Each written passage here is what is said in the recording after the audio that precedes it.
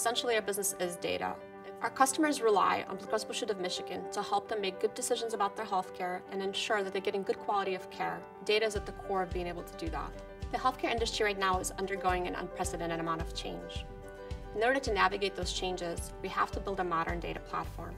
Hadoop is a big part of that answer because we have to build a platform that has quality data, is efficient and cost effective.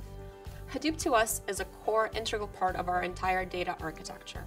So instead of focusing on one specific use case, we very consciously chose to make it part of a brand new data architecture that enables the foundation of a variety of use cases that we anticipate having to build over the next few years.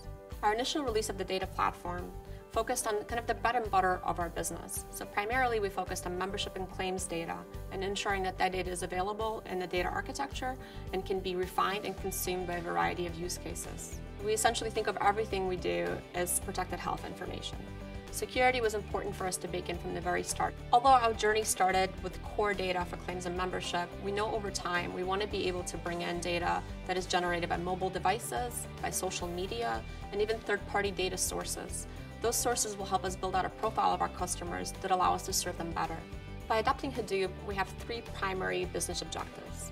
One is to reduce the cost of essential data use cases like reporting and data feeds. Second, we want to enable analytical insights. And third, we want to build a platform that is adaptable and can scale with business needs.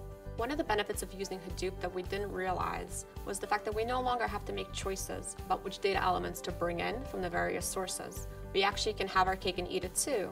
This has allowed our data analysts to have access to raw data, giving them a lot of confidence in its lineage and quality.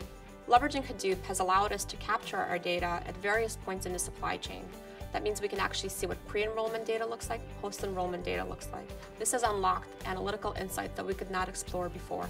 As we undertook our big data journey, we knew that we were going to have gaps in our knowledge and capabilities.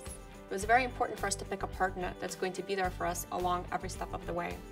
Hortonworks has been essential to our success. I believe that the future of healthcare is one where a consumer is empowered to make good decisions about their own care by partnering with providers and payers.